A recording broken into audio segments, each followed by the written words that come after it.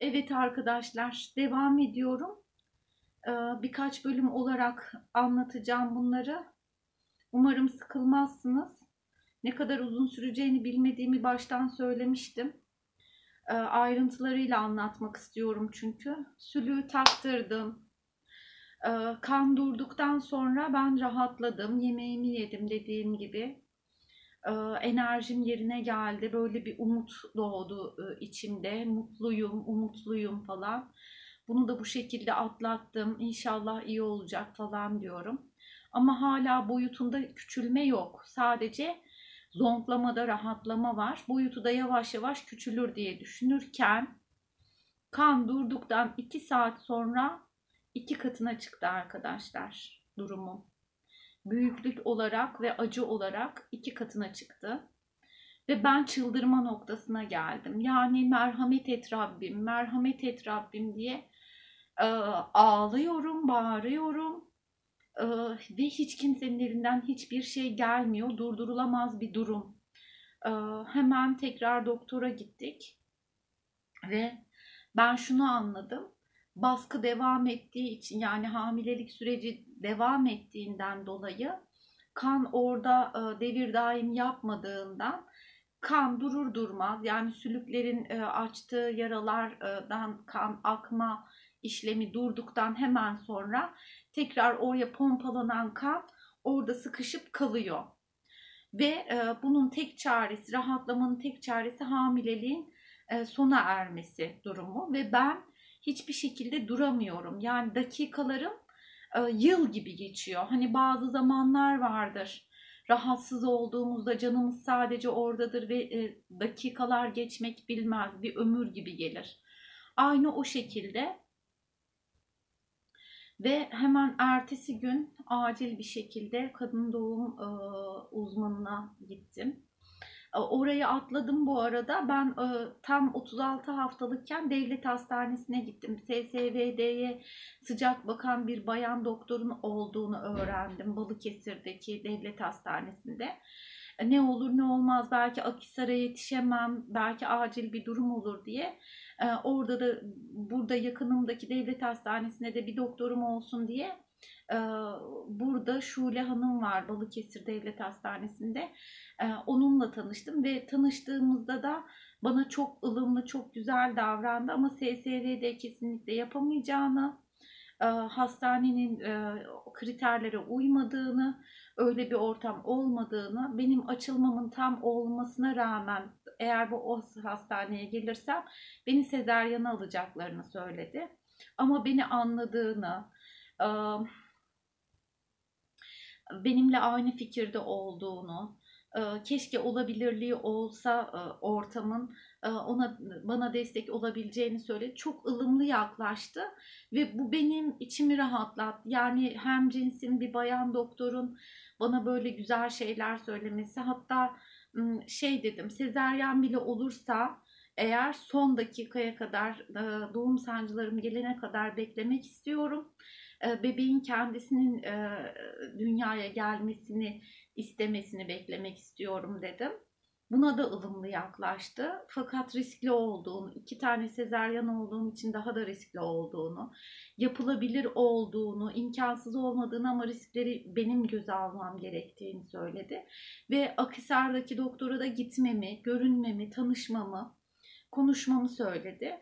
Bu şekilde konuşmuştuk ve 5 gün sonra ben kadının yanına o halde gittim. Yani 5 gün içerisinde benim yaşadıklarım 50 yıllık. Yani sanki 50 yıl yaşlanmış gibiydim. Bir hafta sonra görünecektim ve zaten tam bir hafta sonra Akisar'daki doktora da randevum vardı. İkisine de gidecektim. Ne olur ne olmaz diye. Ama bir hafta sonrayı bekleyemeden pazartesi günü gördüğüm kadını cuma güne tekrar gittim. Ama nasıl bir gidiş? Ee, şeyde tekerlekli sandalyede eşim taşıyor beni. Perişan bir vaziyetteyim ve durumumu e, görür görmez hastanenin hemoroid konusunda uzman bir doktorunun olduğunu, e, cerrah e, bir doktorunun olduğunu söyledi. ismini yazdı ve doğru ona gidiyorsun o senin durumunu e, gördükten sonra biz aramızda konuşuruz dedi. Çünkü daha 36 hafta 5 günlüktü bebeğim. Yani 30, 37. haftasını bile doldurmamıştı. Akciğerlerinin gelişiminin tamamlanıp tamamlanmadığı e, risk altındaydı. Ama benim gözlerimden e, yaşlar süzülüyordu ve çökmüş vaziyetteydim. E, sülükten sonra da tabii ki kan kaybediyorsun. E, ağrılarla, sancılarla da bayağı bir çöktüm ben. Yani yüzüm böyle yanaklarım içeri göçmüştü. Uykusuzluk da var. Hiçbir şekilde oturup kalkamadığımdan dolayı. Her neyse. Hemen e, e, söylediği cerraha gittik. E, gördükten sonra e, söylediği tek şey seni hemen sezeryana almaları lazım dedi. E, çünkü e, bu boyuttaki bir e, durum, vaka çok az rastlanan bir durum ve başka bir rahatsızlık daha varmış ismini bilmediğim. Yani karnından açıp bağırsan dışarı çıkarıp oradan dışkılama yapmak zorunda kalıyormuşsun o rahatsızlığa yakalanırsan. Bu durumun daha ileri vakası o şekilde dedi. Bir an önce baskının e, azaltılması, hamileliğin sonlanması lazım. Bebek için de senin için de böylesi daha hayırlı. E, bu bebeği daha fazla taşıyamazsın bu şekildeyken. E, her dakika biraz daha fazla fırlayacak ve bağırsağının belki de bir kısmı tamamen dışarı çıkmış olacak. Ondan sonra geri dönüşü olmayacak sıkıntılar yaşarsın dedi. Bunun kremle, e, fitille, sıcak su oturmalarıyla asla e, düze, düzelecek bir e, durumu yok dedi. Ve çok hızlı ilerlediği için de endişeye kapıldılar. Hemen oradaki hastanedeki kadın doğum uzmanı benim görüştüğüm Şule Hanım'ı aradı. Acil sezeryana alınmasını talep ediyorum hastanın dedi. Ben zaten pert vaziyetteydim. Hiçbir şeye itiraz edebilecek bir durumum artık o dakikada yoktu. Çünkü elimden gelen bütün mücadeleyi vermiştim.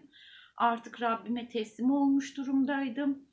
Ee, canım burnumdaydı. Artık e, ne olacaksa olsun dediğim bir vaziyette gelmiştim.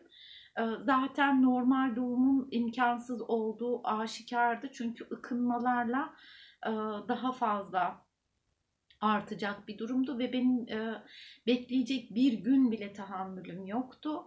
E, 37. haftanın dolmasını beklemeyi çok istedim.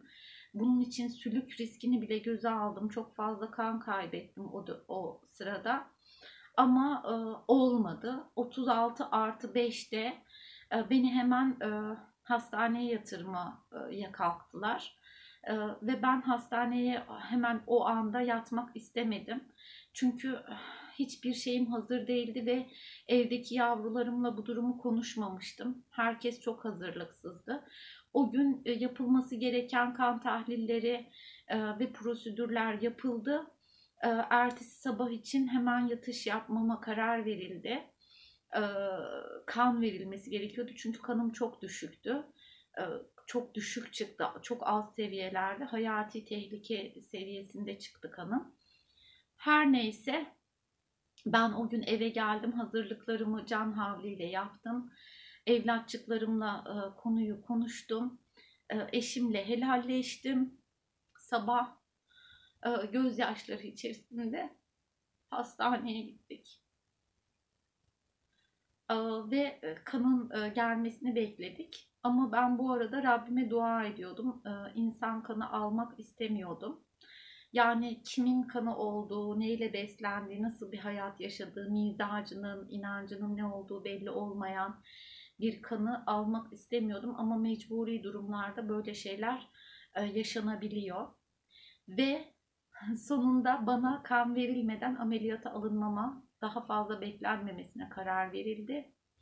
Hemen sezeryana aldılar. E, zaten sezeryan hazırlıkları yapılırken bütün doktorlar ve ebeler benim durumuma şahit oldular. Ee, daha sonra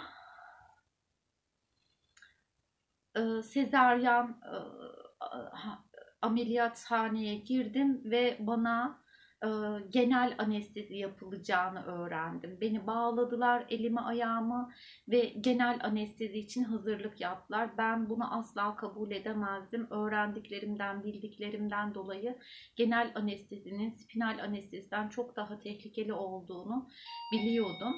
O yüzden e, kesinlikle e, böyle bir durumu kabul etmedim ve bağırıp çağırmaya başladım. Yani ben bana bunu yapamazsınız. Kim so kime sordunuz böyle bir karar alırken falan diye bağlandığım yerden insanlara seslenmeye çalıştım. Ve daha sonra mücadele etmeye başladım